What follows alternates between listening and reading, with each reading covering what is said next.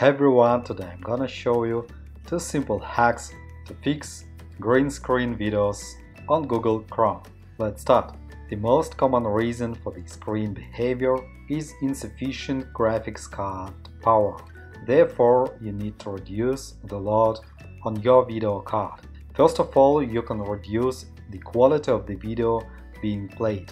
Open the YouTube, select any video, click on Settings, select Quality, and here you can set the quality manually.